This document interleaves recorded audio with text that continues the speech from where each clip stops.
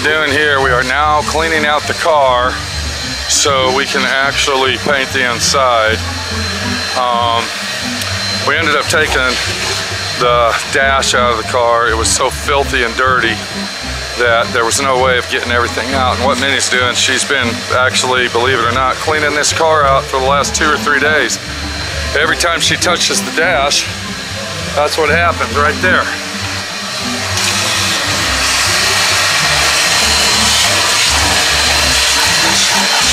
So it's basically been a continuous battle of getting all the trash out of the car. Hold on, uh, why you got your hand on your shirt? Because crack kills. you didn't have no crack. There wasn't no crack. Okay. It wasn't crack. Don't worry. I hope you better Okay. not It wasn't crack. Better not have shown it either. All right, all right.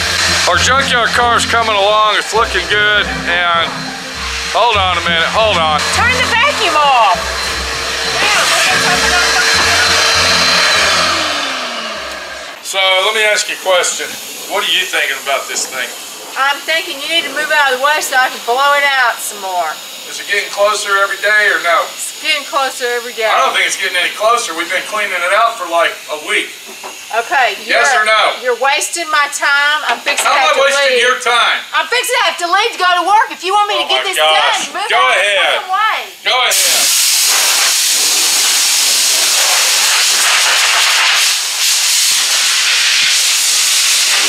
We went ahead and got the hood on there. I'm sure everybody saw that. I went ahead and finished the body work. Hood really came out nice. I like the way that came out. Hold on. Whoa, whoa, whoa. I don't know. What's going on? It's like the insulation is just disintegrating. All the insulation. Look at that. Look at all this. Oh my You God. saw me vacuum it up, right? Yeah. Looked like you had rats living in there, acorns. Yep. Looks like looks like mouse. You know, when I took the heater out, it looked like a three-story apartment in there. Yeah. When I took that heater core out, it looked Oh like my gosh. it was Dirt pretty, and pretty bad. It's just see all this is the in, the original insulation, and it's just disintegrating. well, you know what? That's not our problem. Our problem is to get this thing painted. No, it is our problem. You know why? Why? Because when the air pressure from the paint gun hits Then you that, need to get- it's your problem. It's your problem. the paint job. It's your problem. Cleaning the mess up, not me. I'm just the guy spraying the car. Let's get it up. Let's get it cleaned out.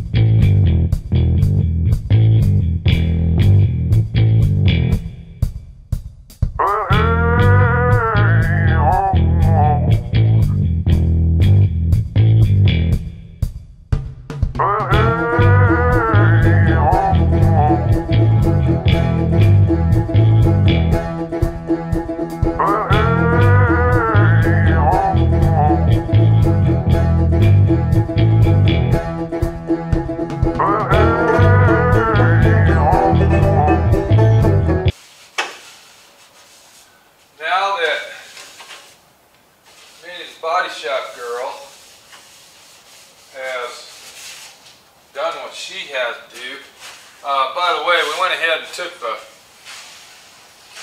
part of the dash out because we couldn't get all the dust and scum out of the car, so we ended up taking the dash out. But our Vega is coming along nicely and we are almost ready, as you can see, to go ahead and put some paint on this thing. Because that is the whole meaning of what we've been wanting to do to finish this junkyard restoration out. So we're taking our wax and grease remover and we're cleaning the door off really, really nice. Um, we removed all the rubber gaskets and everything from the car. So it's basically gasket free at this minute. And we're not gonna paint this whole door. Um, what I am gonna do though is when I paint it, I'm gonna come in about, I don't know, a couple inches in. So when he puts the door panel on it, you won't see any red paint. And then here's the rest of our dash right here. What I'm gonna do with this is I am saturating it with wax and grease remover. And I believe he's got other gauges that he's gonna be putting in here, but uh, we have to paint this thing green to match. I asked him, I said, what color is that? And he said green. So that's what we're gonna do. And I'm using a Scotch Brite to saturate it with because the problem you have is it's got a vinyl texture on the plastic. And I don't even know if he's going to use this one due to the fact that there's a hole cut out right here. But I mean, I'm going to finish my job, okay? And get it done to what I want it to look like. This car is just, it's filthy. I mean, it's just filthy. Look at that. So before I tape it off, I want to get all this dirt crap off it to uh, make sure the tape sticks. Because I'm going to do the right job here. See, I'm not going to half-ass it. We're on the downhill slide of this thing, or is there even a downhill slide to it? I don't know. But we're going to go ahead and get all the interior painted. Once that's done, we're going to come back and block this thing out and get it painted and say hasta la vista baby. I did my job. It was a very very big job. It was a long job. It was a distressful job. It was a depressing job. It was a job that made me work seven days a week when I was working on it. And let me tell you what this job was a fucking job I will never forget. So we got the car in epoxy primer. It is now epoxy primed and it is now ready for paint. And we got our favorite bitcher and complainer here, Nitpick Norm. What's up, Norm? To come out of here, out of the Hey, light? here's, here's what the deal is, Pete. There's Okay, first of all, I can't hear you when you're walking away from me. Norm, Hey, Pete, what? did you see me coming? Yeah, I, I see had the now. vest. I think you played that joke on everybody, dude. Everybody in the world knows I about did. your your city worker vest. What's up, City dude? Yeah, well, you don't have a. Don't touch the car, please, sir. There's a little dent right there. Don't touch the car. I think you need to take that out of it. Hey, hey, uh, Pete, do you have something I can lean on while I'm, you know, like maybe Yes, a DA, a DA sander or something I can lean on and watch you do this job? No, I don't. I know. I have gun. enough. I have enough uh, pole leaners here to. Okay, hello. That's still yours. I didn't say to answer the phone. I didn't fucking say to do that. I didn't say. Many to would do have got. that. Many would have got it. I didn't say to do that, Norm. I know. Okay. I didn't say to do Hey, it's about your Google listing. Okay, tell him to fuck off. Fuck off! Don't answer the phone. You don't like? I don't want to fucking talk to other people right now, sir. I'm busy that's what I was doing working. for you. Okay. What do you think about our Vega here, Norm? Give us your angle on the situation. Uh, it's a Vega. yeah, but it's come a long way. This was a It junkyard has. car, It, Norm. it, it was pretty much a junkyard car. Yeah. Still is. It was a junkyard car. Don't lean up against the door, please, I sir. up against Get the out of the way.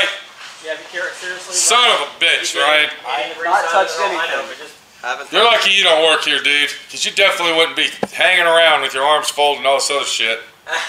Okay. Now, let me ask you this, Norm. What are you thinking about this? this Uh. this beautiful piece of engineering. Yeah. Uh, Hey, you saw the car when it came here, dude. it'll be a nice car. You saw the car when it came here. What are you thinking? The junkyard restoration, is it is it a, a durable situation or is it a waste of time? No, I, it'll be a good car, better than it was when it got here. That's Yeah. We've done a lot of work to this car, a lot of rust repair. Completely gutted this car out. Look at this thing. We got the dash down to nothing, dude.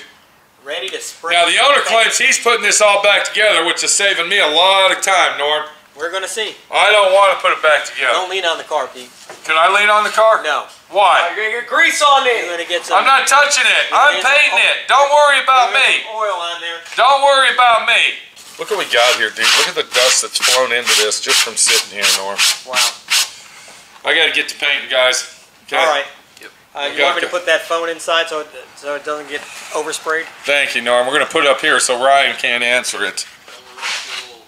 I'm gonna go ahead and get the green painted on the interior. Once that's done, we're gonna go ahead and drop the car down on the ground.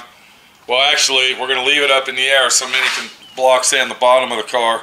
Then we're gonna get it down on the ground. It's time to block sand and paint this thing. Hopefully it'll be painted next week.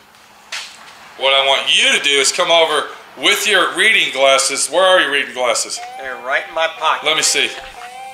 Okay, what I want you to do come over here with your reading glasses on, and I want you to walk around this thing for about an hour and a half and make sure that everything is in working order. Can you do that? Pete, you need to put a little more primer on that spot Okay, right well, there. we're not painting the outside right now, Norm. All right, just. Just check. All right. I'll all make right. sure. All right. Okay, Ryan. Uh, Norm, we gotta go. All right. See y'all later. All right, Pete. Take it easy. Take it easy, All guys. right, we're out of here. There you go. Keep going. Uh, Friday Keep night. going. Keep going. It's Friday night for you, and it's work day for me. I'll be working till about nine. I'll be working till about nine. I'll see you tomorrow, cause my friend Pete will be here working too, at the SWRNC prison farm, right here, right here, guys. You know how much you how much you get an hour, Pete?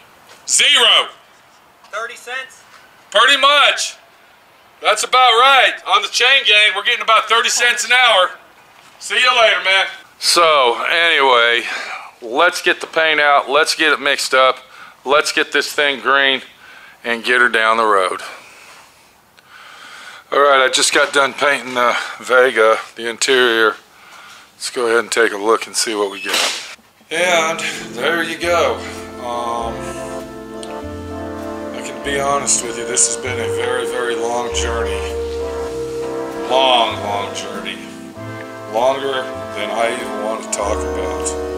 Uh, here we go, let's get some light on. Uh, the inside is painted. This car was a freaking nightmare. A real, real nightmare, I can tell you that. But I can say we are on the downhill slide on this thing. Now that I'm looking at it, it's going to be an awesome car. You got to understand, this is junkyard material here. This is a car that was totaled out, junkyard junk, non-restorable basically. Should have been crushed, put into the scrap iron pile, and has been brought back to life. Let's go take a look at that dash over there and see what it looks like. And it came out awesome too. You can still see the grain in it, just like I wanted. I don't know if this was actually the way that it came from the factory like this, but I mean, this is what he's getting. So what I'll do is I will go ahead and supply him with extra paint, and when he gets his car at home, if he wants to paint all the interior parts to match what he's got on the dash, which I'm sure he's going to want to. And basically what I'm talking about is this right here. This is the plastic interior that came out of this particular car. Look at this. Look at this stuff. Just really amazing. Um, here's the door panels right here. Wow. Just a real nightmare. Look at this dash. Look at the dash pad on that. It's not even restorable. I would have asked him if he wanted me to restore the dash, but looking at the dash itself, I don't think it's restorable. Um, I guess I'm going to have to go ahead and paint this. I didn't even really think about it, but we'll catch that when we paint the car. We'll get that painted green. And other than that, I mean, wow, what a freaking mess. So basically, we started with that thing right there, the original, authentic 76 Nomad. Came from Amarillo, Texas. It was in a junkyard for 18 to 25 years, sitting.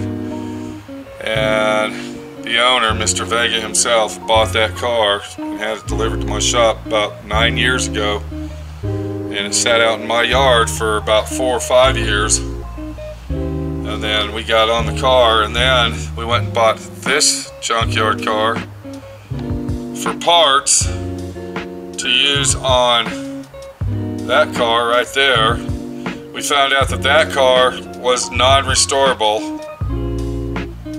Uh, junk pile that it was. And then me and Minnie went and picked this car up and brought it back to SWRNC. It was sitting in a guy's field out in South Texas, I guess you can call it, just sitting there rotting away. And we have now brought it back to reality. So I think if this car can talk, it would probably be a very, very happy camper that it is going to be a survivor. We will be converting this car to a Nomad. It's going to have the white vinyl top on it. And it's going to have all the Nomad insignias on it. And it's going to be an awesome car. You can tell that I'm actually calmed down now. And my voice is at a level of, you know, I'm fucking proud that I didn't give up on this thing. Very, very proud that I kept going, kept the motivation, even all the hollering and cussing and pissed off situations of I just want to get it out of here. This is Pete, my friend Pete, your friend Pete. Over here trying to get the message across to you. I've been doing YouTube videos now for a little over 10 years and I'm trying to relay a message here. Even though I don't like my fucking job and it sucks and I hate fucking doing this shit, I still come out here every day and fucking do it. And in the end, I'm fucking glad I did. We'll see you on the next one as we continue to work on our 1976 Chevy Vega and uh, get her done.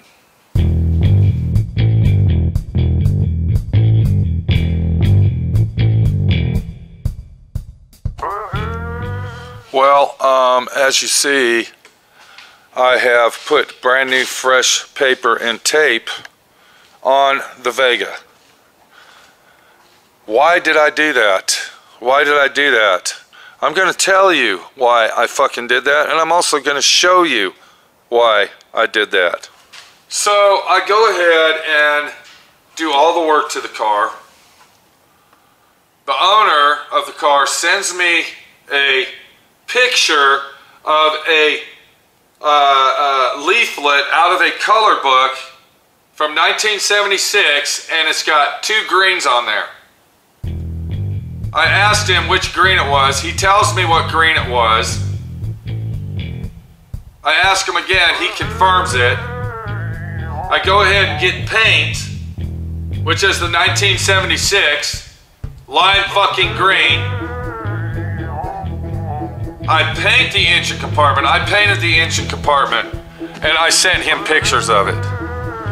I also painted the hood and the fenders and sent him pictures of it and everything said, uh, it looks great, awesome job, this, that, and the other. I go ahead and paint the interior of the car, and he texts me and says, that looks like the wrong green. That looks like lime poly, not solid lime.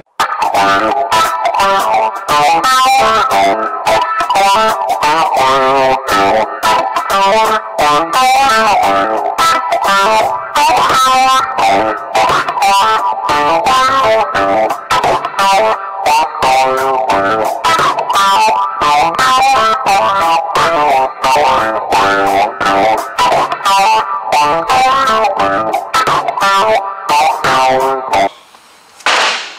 the paint that I painted it with. That's the lime poly green. That after I paint all this shit, he decides to tell me it's the wrong fucking color. Here's the fucking paint that I just went and bought that cost me 175 fucking dollars. And we're gonna look at it, and I'm gonna ask your opinion by looking at it as a picture if you can tell it's a different color. So I'm gonna take the lid off this one, and then I'm gonna take the lid off this one. Now, this is the one I painted it with, right here. This is the one that he says is the right color, and this is the wrong color. So, that's that green. You can see it's got poly in it. Now I want you to really pay attention here, real close. Get your uh, bifocals on, because you're really gonna, if you don't, you're gonna miss this. That's the green. Do you see that? Now, you can plainly see in a picture that it's two different color fucking greens. You can see that.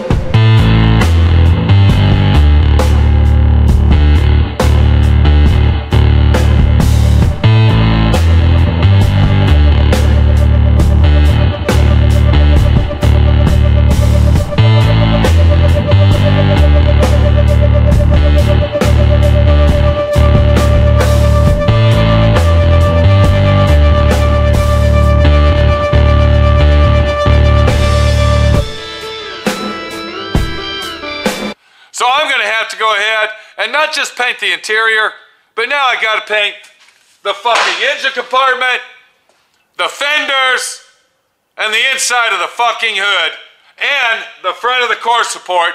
Then I gotta come back and I gotta paint all the fucking black shit over.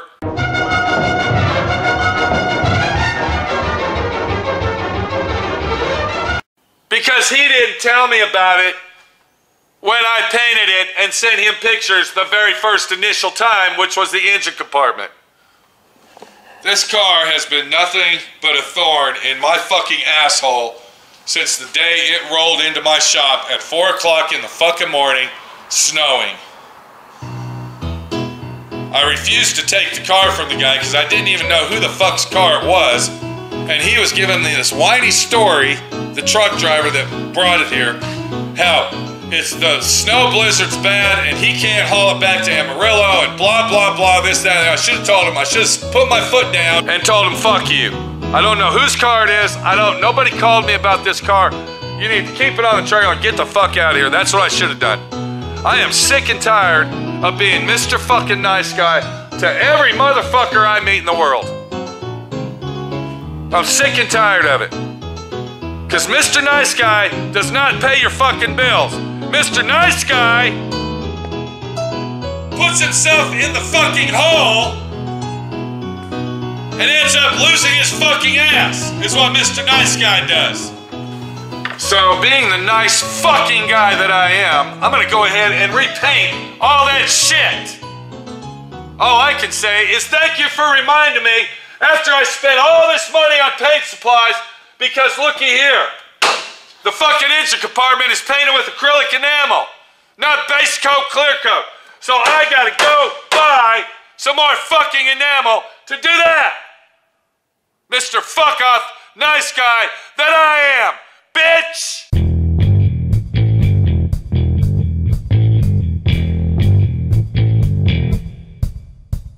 So what's your opinion? Huh? Go ahead. I just want you to quit screaming. I want you to tell me what you think about this whole nightmare mess on the 76 Vega Nomad. It's a bunch of shit.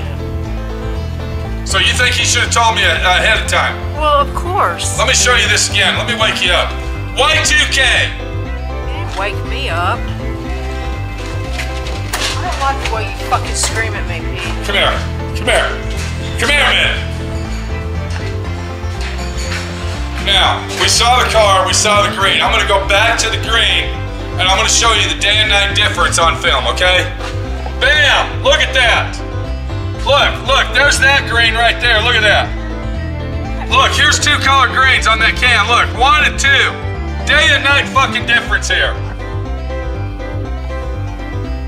Well, yeah, you could definitely see from the very beginning that that was sparkly paint. Not just sparkly, it's metallic. It's got a gold iridescent look to it. It's it's 70s Chevrolet green. Okay, I don't know all about the year. All right, what are you working you on? know? What are you working on? I'm tired of you fucking screaming. Okay, I'm asking you a question. What are you working on? I'm working away from you. Okay, here, take the camera with you because I got a lot of things to do. Turn it off. Here, put the camera away. Turn it off. Put it away. Turn what are you working on? I'm working on a Mercedes. What are you doing on that Mercedes? Minnie, the body shop girl that you are. I'm What's going on? I'm gonna take the fucking fender off if you leave me alone. So we gotta change fenders out, and you can do that all by yourself? You're shitting me, right? Can you do this? I don't know. You think you can take that fender off that high expensive $100,000 Mercedes and put another fender on it without scratching anything? Because I sure would hate to paint it the wrong fucking color. Yeah. All right, get that fender changed out so we can keep moving forward.